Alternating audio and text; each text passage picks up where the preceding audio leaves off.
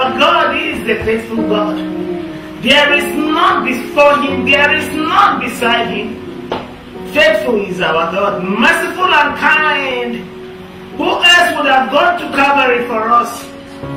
Who else would have done it for us? If not for Jesus, I don't know where we'd be today. If it had not been for His grace, if it had not been for His mercy, if it had not been for Jesus. Thank you, Jesus.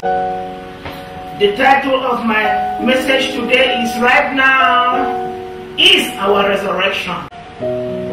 Most of the time, we don't realize that the resurrection power is working each and every single moment in our lives.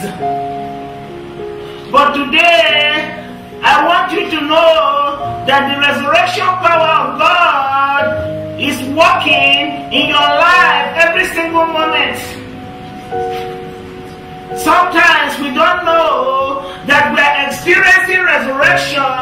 in our day-to-day affairs. When you lie down and you wake up, you have experienced resurrection. The resurrection power of God is always at work for us. Please, if you have your Bible, go with me to John 11 25.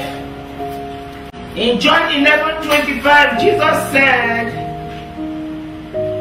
Jesus said to her, I am the resurrection and the life. He who believes in me will live, even though he dies. And whoever believes in me will never die. Do you believe this? This is Jesus speaking. Jesus is telling us even before he went to the cross, he was telling us already that he is our resurrection. He is our life. No matter what we think in our lives that is dead, no matter what we think in our lives that is not working, Jesus told me to tell you this morning that he is our resurrection. What does it mean to resurrect? To resurrect means back to renew. To resurrect means to revitalize. There may be areas in our lives that are weak right now. Jesus said, I am resurrecting those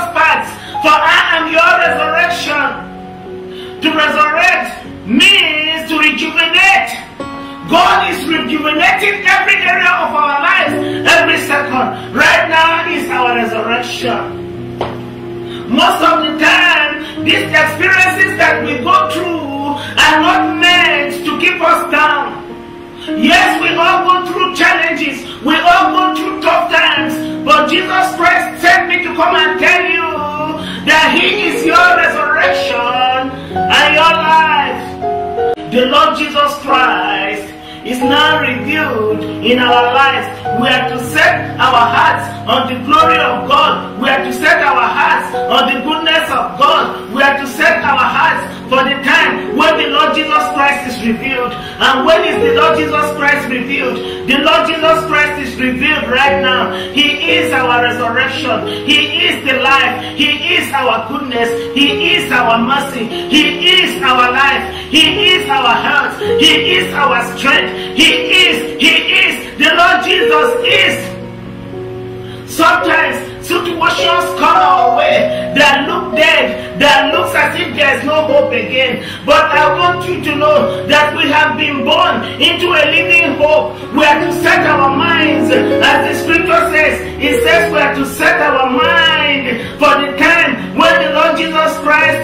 revealed. And right now the Lord Jesus Christ is revealed in our lives. We are not dead. We are not children that are serving a dead God. Situations, trials, circumstances come our way. But there is someone who has paid a price. A great price has been paid. Right now is our resurrection. Right now are we experiencing the resurrection of God. Even in the areas that have looked as if God is. In those areas of our lives where there seems as if nothing is happening. I want to tell you there is a resurrecting spirit that lives in us. There is a spirit of resurrection that lives in us that enables us to begin again.